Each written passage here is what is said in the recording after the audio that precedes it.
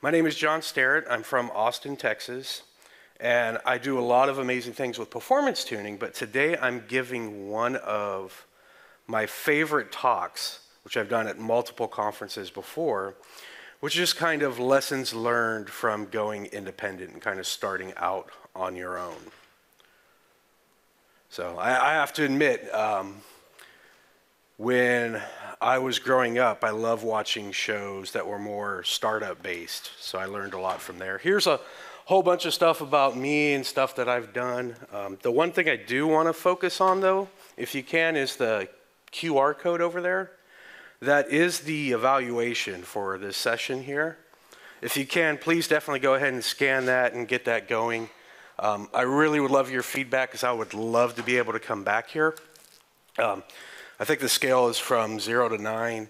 If you give a nine, great. If you if you give anything less than that, the only thing I ask for you is please put in some comments in there on why, so I can kind of learn from from why you thought I shouldn't get a nine, and so I can improve this talk uh, going forward here. But yeah, basically, I love SQL and data, and that's kind of the summary of that. So, the goal for today's session here today is to share lessons learned while way back in 2014.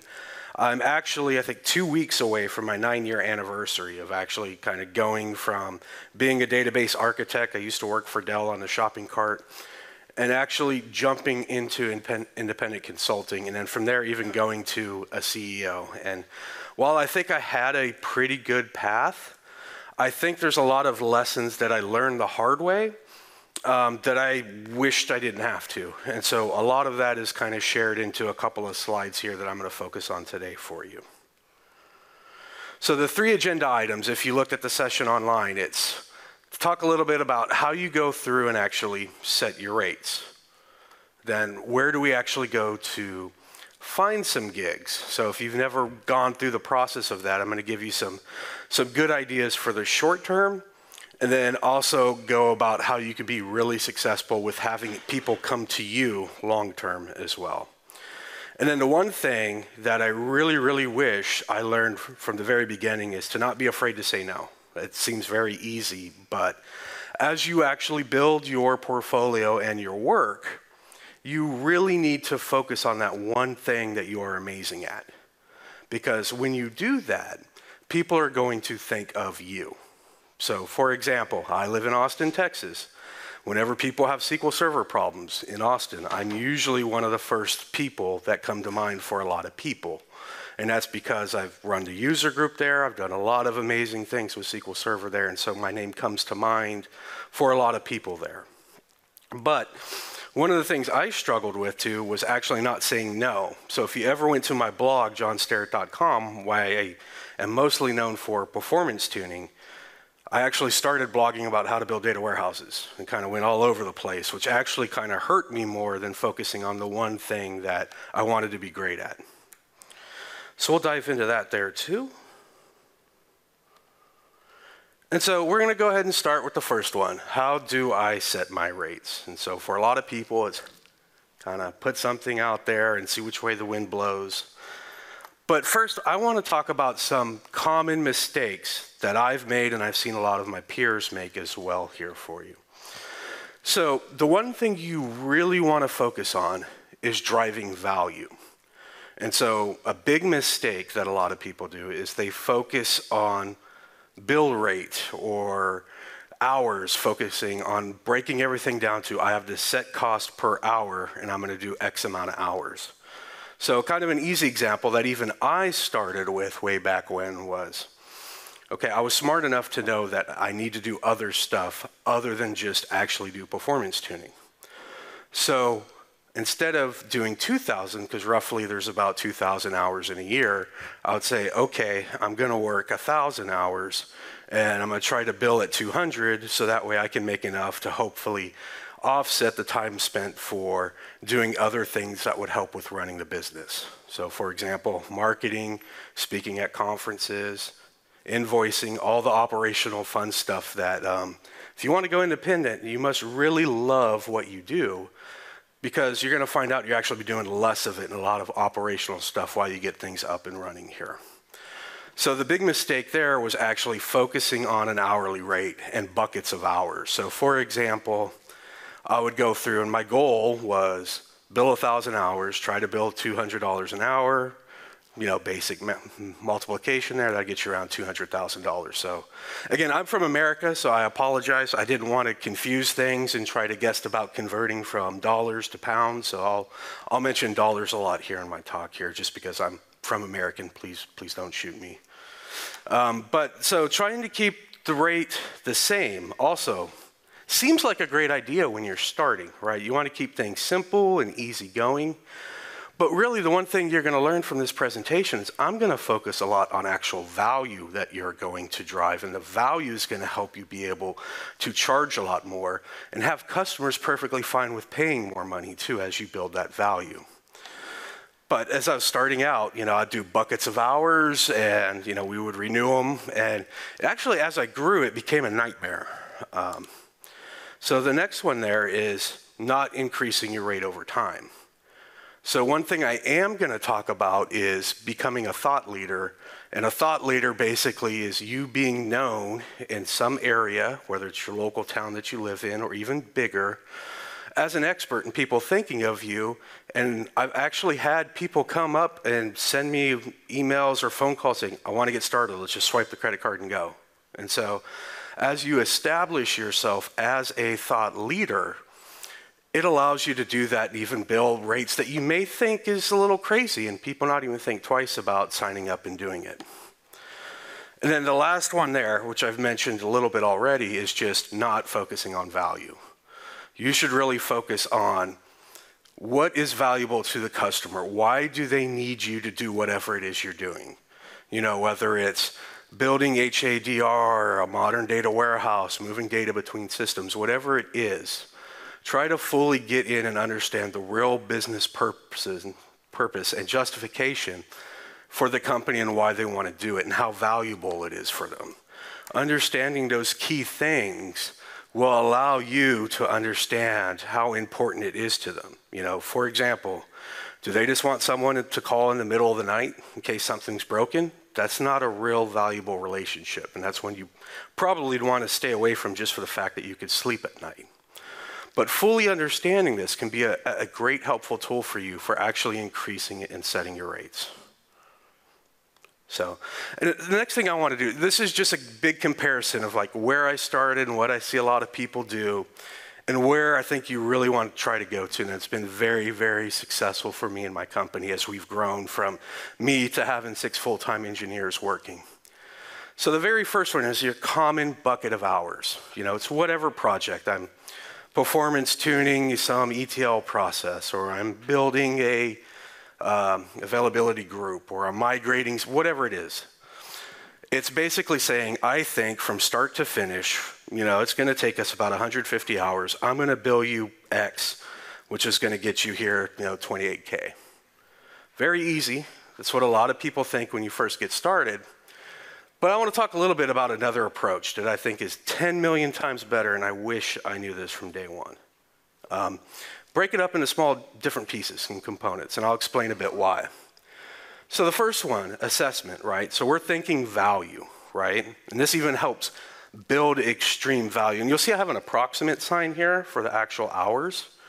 That's because it depends. I mean, it might be 10, it might be 40, it might be 30. It really just depends on your assessment process, how good you are at doing it, and how much value it actually retains. For example, if I was thinking of doing a massive upgrade and I knew that I can get a plan on how we should do that from start to finish to make sure we have everything lined up, 10K does not seem bad at all. In fact, I've been told many times that, at least in America, and I assume this to be pretty much true in most places all across the world, decision makers will actually have a budget level that they could spend. So, like in America, I, I pretty much know it's between around six and twelve thousand, where a manager can usually swipe a credit card, and there's very little processes that they have to go through.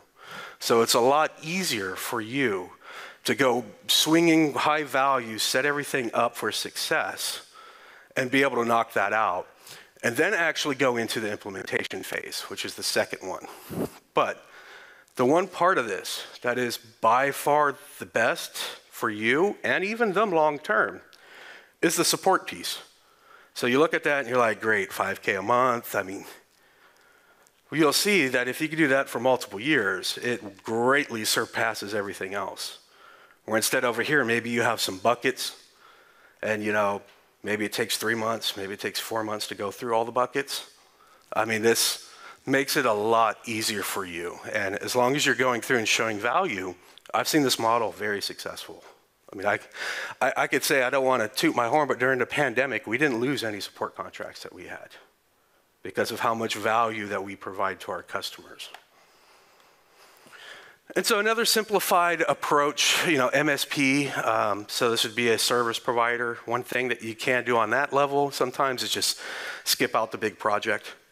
Sometimes, you know, usually when people come to us, there is some problem, you know, and they thought of us because we're good at solving those problems.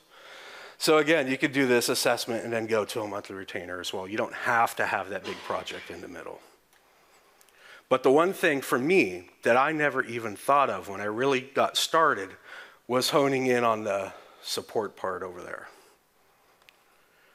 So I mentioned a little bit about becoming a thought leader, you know, as you become a thought leader and you do more stuff in your community, which we'll get into a couple of those there, your value will rise. You actually will have people that will come finding, looking for you and say, I need you just because they know that you have success of solving certain problems that they are having. As you do this, you can actually raise your rates. The rates I started when I way began are nowhere near what we do now for particular projects. And so, speaking a little more about being a thought leader here, this is the Forbes. They actually have two definitions because they, you know, one wasn't enough; they needed two. But you know, in America, when we think of money, Forbes is a thought leader. You tend to go to Forbes.com. There's a lot of great stuff here. I'll just say in our community, there's tons of thought leaders. For example, whenever I think of HADR, clustering, availability groups, I usually think of Allan Hirt, SQL HA on Twitter as an example. You could be this at any scale. I mean, I would start locally in your own environment. So, for example, me, Austin, Texas.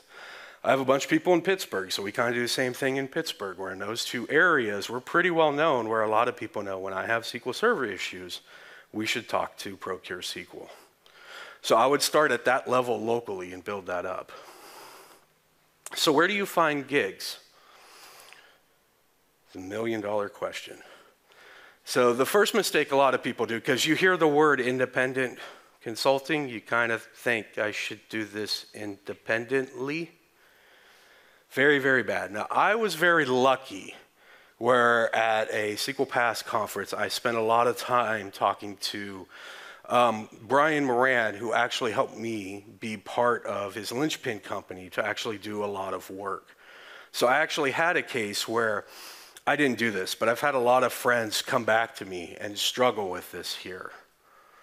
And so I, I want to point out if you're just starting now, where are some great places to find opportunities? So one of them is LinkedIn. And so initially, even I would have thought, well, if I'm just starting out and I'm asking for work, it's going to take a while for people to actually take me serious and think, well, I'm really doing this, or it's just a side thing to make more money. Um, but no, I see this quite often. Quite often. It's a great way to get started out there. Um, another place would be consulting shops. So, especially if you have mid to small ones, usually the way how a lot of them work is as they get work, they'll bring in an independent consultant to kind of help with a problem and grow that until they can hire an FTE. And if the independent consultant is great, maybe that's an opportunity where they both can flip over and do a lot more work. Same thing with MSPs out there. There's a lot of them there that hire a lot of junior level people and struggle with really harder tasks like doing architecture inside of a database or for data, moving it around a lot of systems that's a huge place where you can actually partner with a couple of those and get a lot of great opportunities. And I've actually done both of those too when I was starting out a lot. So I definitely recommend it. You know, the third thing here is you're at a conference. There's quite a few people who do consulting. You may want to just go talk to them and say, "Hey, what do you do whenever you have overflow work or you know, you have a bigger project and you know you need some help?" I mean, that's a great opportunity to get your get your foot in the door over there. So So the next one here is being the thought leader. You know, let the gigs actually come to you. This is where you want to be. And luckily, this is where I've been for quite a while. And a lot of this has come from stuff that I've done inside of the community. So I've been very blessed where I've done a lot of YouTube videos. I've done a lot of webinars for quite a few of the vendors in the hallway that you can go see. Um, I started out blogging. It's funny. I remember Steve Jones, um, who works for Redgate, say many years ago that you know for every thousand people that read blogs, there's maybe one that write them. And so whether it was right or not, I can tell you that I got opportunities just because I was blogging and people thought I was the expert. I, I, I will be very honest and say I was not. I was blogging because I wanted to improve my English, and I was blogging because I didn't want to forget stuff I already did that I knew I was going to have to do again. Um, but in, in, hindsight, that helped me out a lot. Same thing with being involved in user groups and um, speaking at user groups and conferences as well. These are all great things that can definitely help you be known as a thought leader starting in your local area and growing it out from there. And then Finally, the big third piece here, and you might be wondering, why is this here? Um, and I'm going to explain that the biggest thing I wish every single person knew, and this is one I definitely struggled with myself, was not being afraid to say no. So remember, I, I said one of the goals is be a thought leader for a subject area, right? Well, if you say yes to anyone who will throw money at you, you're going to be doing all kinds of various different things that's going to kind of collude what you're known for. And people might think, oh, you're just a generalist that's just focusing on anything that's data or SQL related.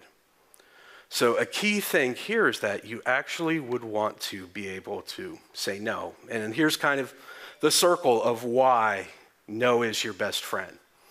Because as you start really thinking, and even before you jump to being an independent consultant, I strongly encourage that you go out and you build quite a bit of content, because that's going to start getting people to think of you. They're going to think of you whenever they have the partner that you're focusing your content on.